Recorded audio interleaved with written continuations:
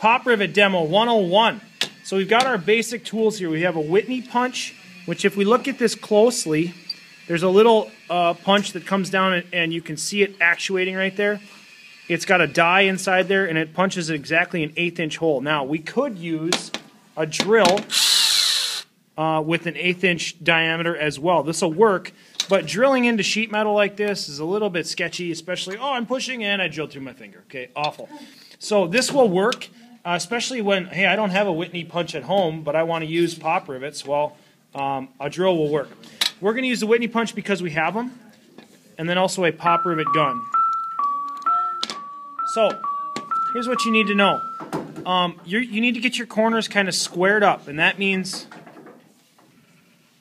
we want this corner right here to be at a 90 degree angle. That means we don't want it to be out like this. Oh, reflection. We don't want it to be out like this or too tight in. We're going to get that squared up. Again, use your eye to figure out where a 90 degree angle it, or 90 degree angle is.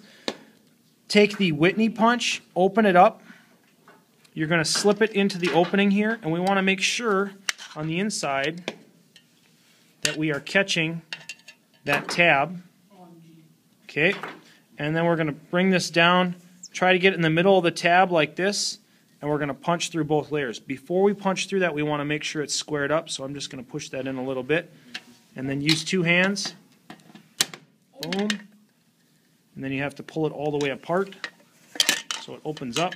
And we should have a hole punched through both tab and the side of the pan.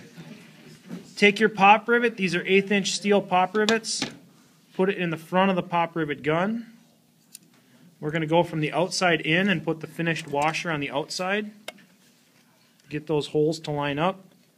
A little bit of force and wiggling and such. And then on the inside you can see uh, the mandrel there is not expanded. As I squeeze this handle, we can see the mandrel expand and then I kind of have to choke up on it again.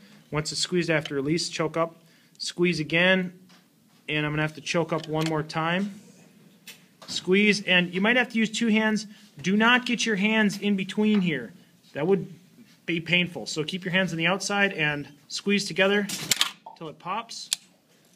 The mandrel, or the shank should slide out of the center, and we have a pop riveted corner. Repeat on all four sides. And scene.